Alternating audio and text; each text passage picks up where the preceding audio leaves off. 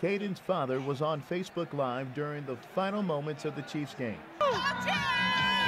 He was surrounded by family and close friends when a beer bottle flew into their section, knocking Caden back into his seat. Watch it again. You can see beer fly in the air right after it hit the 10 year old.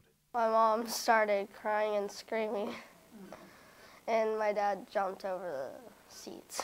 The aluminum bottle busted his top lip. His mother was in shock. I was heartbroken that, you know, he was the victim of somebody's poor decision. Caden was rushed to KU Medical Center where doctors used six stitches to close his lip. Caden's father says doctors were in shock too. they just couldn't believe it. I couldn't believe it happened at the game. Couldn't believe it happened to a kid. He loves the Chiefs, going and watching the game, and it's very unfortunate that he's going to walk away with a scar for the rest of his life. They filed a police report after confronting the woman who threw the bottle. She also happens to be a Chiefs fan. Said, You hit my son. You hit him in the mouth, and she said, I don't care. People were throwing things at me. While fans were throwing snowballs onto the field, it even caught the attention of Chiefs head coach Andy Reid during Saturday night's game. Caden says he didn't throw anything.